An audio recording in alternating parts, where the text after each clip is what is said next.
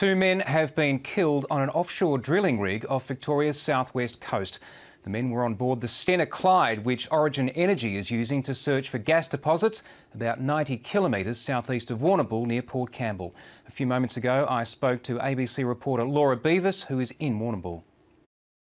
The National Offshore Petroleum Safety and Environmental Management Authority has confirmed that two people were killed in an operational incident on a gas drilling rig that is about 90 kilometres southeast of Warrnambool drilling offshore for Origin Energy.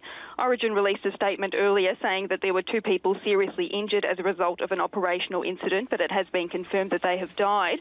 Origin has said that they shut down drilling and operations on that rig. They've secured the well, but it's not going to have environmental effects or affect their production in the Otway Basin.